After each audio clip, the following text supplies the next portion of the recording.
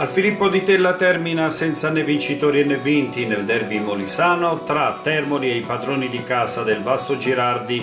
L'11 di Tommaso Coletti prende da subito il pallino del gioco, trema la retroguardia dei giallorussi adriatici sulle fiondate di Lorusso al quarto e Fiori una manciata di minuti più tardi. A metà tempo però gli ospiti sprecano con Filogamo dinanzi alla porta di Petriccione. I locali rompono gli indugi e passano in vantaggio con l'esterno Fiori. Esulta lo spicchio dei tifosi giallo-blu.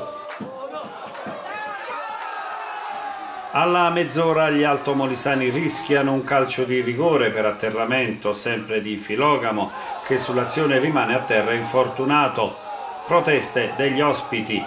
Le squadre in campo non si risparmiano e il vasto Girardi si avvicina alla doppietta ancora con Fiori chiamato in causa dal compagno di squadra Bentos. Al minuto 35 il Termoli rimette in equilibrio la gara.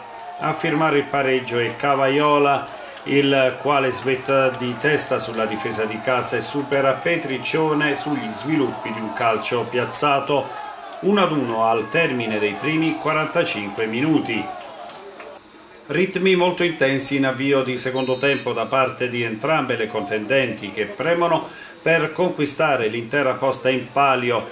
Da segnalare il solito calcio piazzato di Ruggiero per i padroni di casa al trentesimo, Speralta.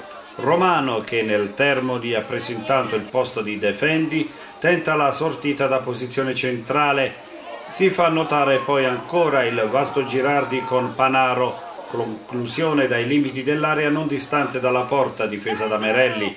Le squadre lotteranno fino al termine per la conquista dei tre punti, ma il risultato resterà inchiodato sull'1-1 del primo tempo.